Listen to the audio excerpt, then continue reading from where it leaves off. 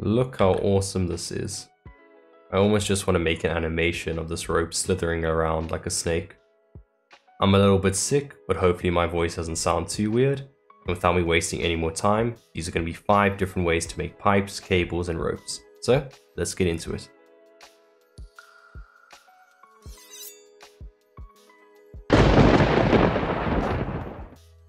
Number 1. This is probably the simplest way to make a pipe.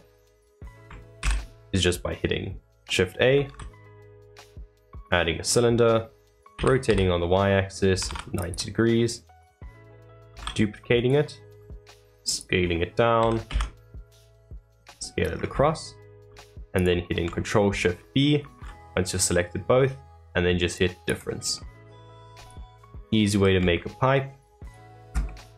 Really simple. It lacks a lot of control, doesn't work well with curved edges, but if you're making something simple like a copper pipe or maybe a gun barrel, this is probably your best method. If Control Shift B did not work for you, it means you need to enable Bool Tool. So if you go to Edit, Preferences, go to the Add-ons tabs, and then just search Bool Tool.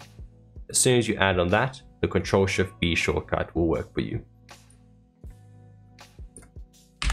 the next way to make a pipe or cable is by hitting Shift A, grabbing a cube, going into edit mode, hitting M to merge vertices at center. Another way to do that is just right click, go all the way down, merge vertices, and then merge at center. Now we have a single vertice. We can extrude this by just hitting E. Now I'm going to make a curvy pipe. Something like that. Already this has a lot more control for making strings because you can make more complex shapes. It's way easier to work with than working with the cylinder. But I don't want 90 degree edges, so I'm going to select all by hitting A, and I'm going to hit Control B and B. That's going to bevel vertices. Use your mouse wheel to increase the amount of bevels or take them away. That's fine for me. Now we have a nice curvy bit of string, but it has no depth. So I'm going to say convert curve. Once you've converted any object to a curve, you're going to get another display or panels property down here on the right. There's a bunch of settings here, but the main one we need to use is just go all the way down to the bevel tab, find where it says depth, and then let's increase this to 6, maybe 7. Now we have a nice thick piece of rope. It's a bit square, so just going to hit shade to smooth, and now it's pretty good. It still has quite a lot of bumps, so to increase that resolution, I'm just going to go to the modifiers, add modifier, add subsurface division, and then maybe set it to 2. Now we have a super curvy piece of pipe or string and we have tons of control over it. This third way to make rope is my favorite, it's super easy to do and the outcome is really awesome. So let's start by adding a circle, go to mesh, add circle. I'm going to change it down to 10 vertices as that's going to work really well for this. Let's scale it all the way down, we don't need a giant rope and then hit the full stop. Now hit Ctrl A to make sure apply that transformation and then there we go. Next thing to do is go to empty and add an empty plane of axis. Hit R to rotate it and then Z and then 90 degrees. So rotating at 90 degrees on the Z axis. Select the circle again and let's add a modifier. We're going to add the array modifier. We're going to change from relative offset to constant offset. I mean object offset. Sorry about that. Then we're going to use the eyedropper tool and we're going to select the empty. Next, we're going to want to grab our circle and move it along the y-axis.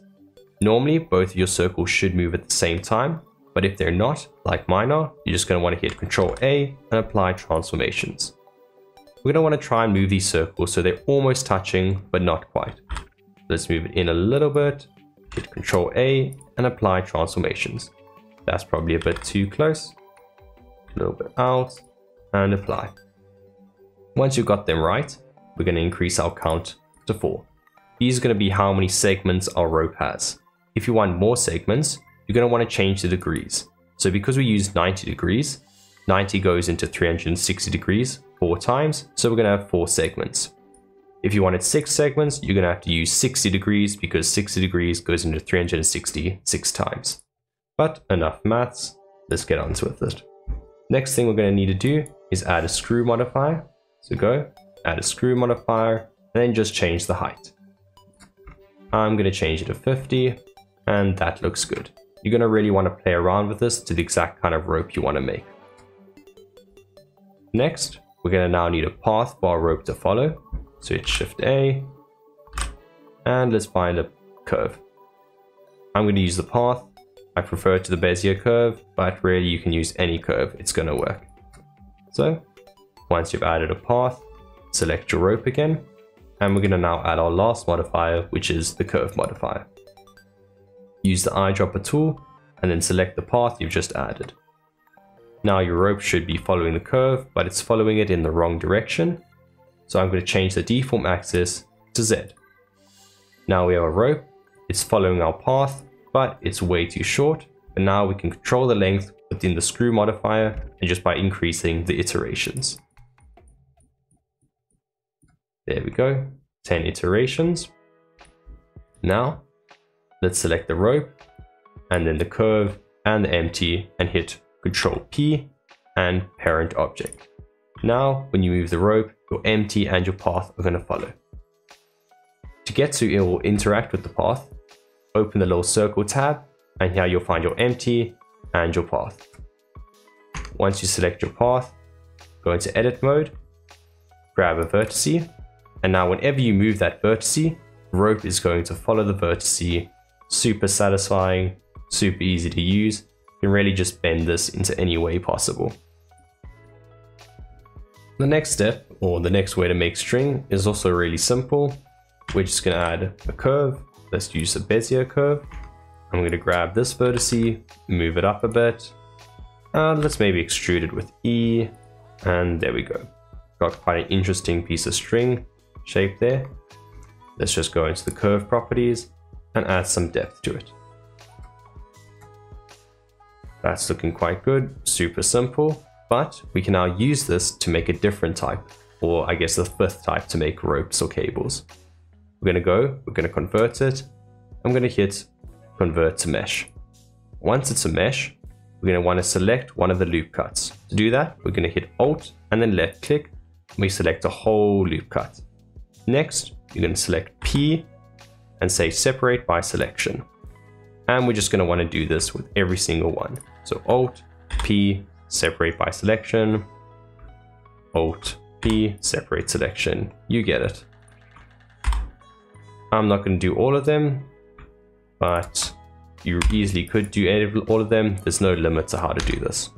Once you've selected all the ones you want, delete the rest you're not going to use, and then select all, hit Control J to join them, and then right click, convert to curve. Now we have multiple curves following the exact same path and we can increase their depth by just selecting it up here. Let's maybe shade them to smooth. Now we have tons of cables following the exact same path. This is super useful for things like ribbon cables, HDMI cables, tons of like tech with mechs or even server rooms. Super useful technique. They're a bit jittery, so we can just add another modifier. Let's say subsurface modifier. And there we go. Let's maybe make it two. Perfectly straight or perfectly curvy cables, really easy to use. And you can still edit them each individually. Let's just go into edit mode. And move it there, there,